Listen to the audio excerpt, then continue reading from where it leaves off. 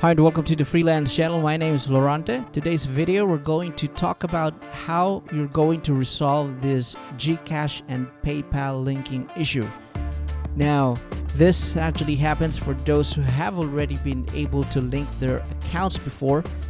However, when they try or when we try to go ahead and do some transfer from PayPal to Gcash, it just keeps on prompting us to relink the account. So that's what we're going to resolve today. Now before we go ahead and get started with the tutorial, just a quick note.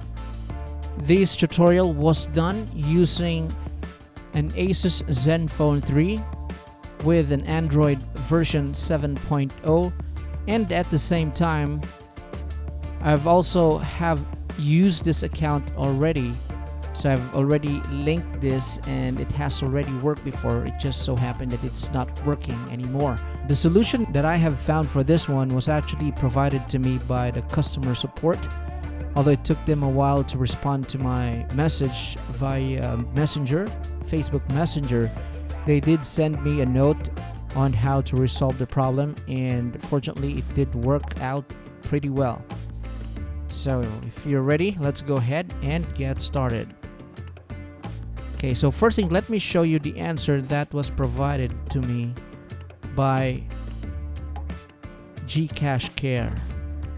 So the solution, as they said, as what has been provided by them is to go to your device settings and then go to apps and then look for Android system web view.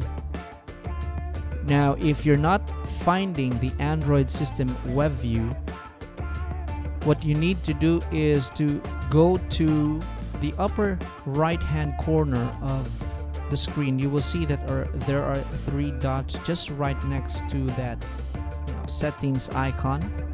So you just tap on it and you will see that there are options in there that will tell you to show system and reset app preferences. So what you'll choose is show system. Then once you tap on that one, you will see that there are now different Android related services or apps showing up. And what you're looking for is the Android system web view. Alright, so once you find it, you have to make sure that that one is not enabled. So you have to either disable it or force it to stop for your linking to work properly. Okay so I have that disabled. So what I'm going to do is I'll go ahead and try to do the relinking. So you can see what happens when I try to relink my account.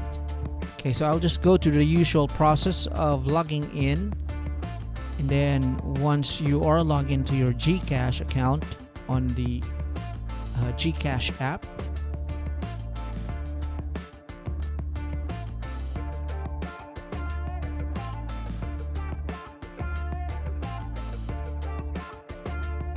you'll just go to my account just tap on the avatar icon.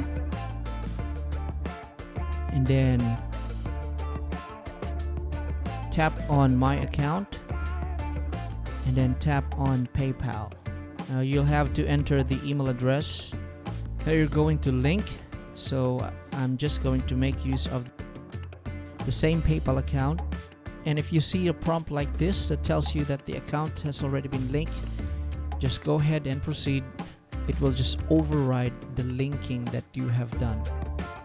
Okay I'll just go ahead and log in.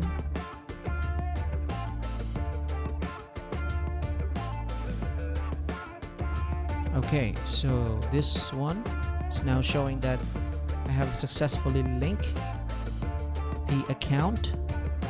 So what I'm going to do is I'll go ahead and try to make a PayPal to Gcash transfer